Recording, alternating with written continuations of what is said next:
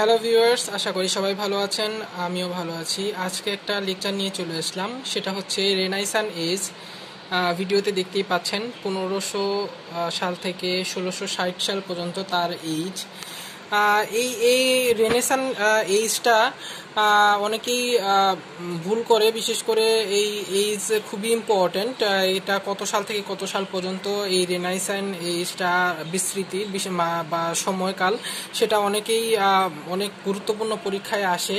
এছাড়াও এটা কয় ভাগে বিভক্ত, সেটা মনে রাখার একটা টেকনিক আজকে আমি, আজকের ভিডিওতে আপনাদের সাথে শেয়ার করব। তো আমার চারপাশে অনেক নয়েজ আছে, যার কারণে ভয়েসটা যদি ক্লিয়ার না আসে, অবশ্যই ভিডিওর কমেন্টে জানাবেন। তো রেনাইসান এই সম্পর্কে আজকের লেকচারটি আমি বানিয়েছি। এটা খুবই শর্ট ভিডিও তো রেনাইসান এইজ এটাকে আসলে রিবার্থ বা রিভাইভাল অফ লার্নিং বলা হয়। এটা মূলত রেনা রেনেসা রেনেসা বা নবজাগরণ বা পুনর্জাগরণ বলা হয় যাকে, নবজীবন বা পুনর্জাগরণ। ইতালির ফ্লোরেন্স শহরে এটা উৎপন্ন মানে এটার জাগরণটা শুরু হয়। পরবর্তীতে ইউরোপ জুড়ে শিল্প, সাহিত্য, বিজ্ঞান, সংগীত, ভাস্কর্য প্রভৃতি জ্ঞানের ক্ষেত্রে নবজাগরণের জোয়ার শুরু হয়। গ্রিকো রোমান শিল্পের পুনর্জন্মই হল রেনেসা। বিভিন্ন পলিটিক্যাল রুল রুলারদের নামানুসারে এই পিরিয়ডটিকে আমরা চারটি ভাগে বিভক্ত করতে পারি। এই চারটি ভাগই মনে রাখা খুবই কঠিন হয়ে যায় অনেকের ক্ষেত্রে এবং আমরা ধরতে পারি না এটা কোন এইজের আন্ডারে তো আজকে এই সম্পর্কে ভিডিওতে আমি আপনাদের ব্যাখ্যা করব এবং শর্ট একটা টেকনিক বলব। তো রেনাইসান এসকে চারটি ভাগে ভাগ করা যায়। এটা মনে রাখার জন্য আপনাকে এই ট্রিক্সটি মনে রাখতে হবে। এলি যাবে কারে করে?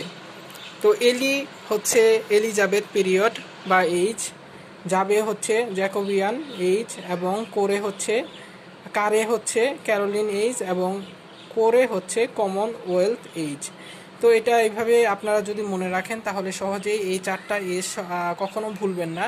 এলি, ই এল আই এভাবে এলিজাবেথ এইজ পনেরোশো আটান্ন থেকে ষোলোশো তিন।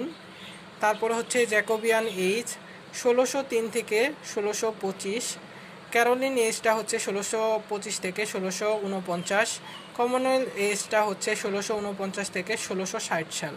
তো আপনারা যদি রেনাইসান এজটাই মনে রাখেন, তাহলে বাকিগুলো বিশেষ করে ভিতরে এলিজাবেথ জ্যাকোবিয়ান ক্যারোলিন এগুলো যদিও পরীক্ষায় আসে, তাহলে এজগুলো আপনাদের ভুল হবে না।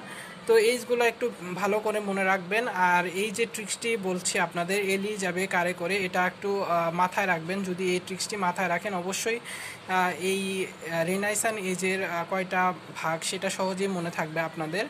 তো ভিউয়ার্স, এইটুকুই আজকের ব্লগ। আর আজকের ভিডিও আপনাদের সাথে শেয়ার করলাম রেনাইসান এই সম্পর্কে। ভিডিওটি ভালো লাগলে অবশ্যই লাইক, কমেন্ট শেয়ার করবেন। অবশ্যই আমার চ্যানেলটিকে সাবস্ক্রাইব করবেন।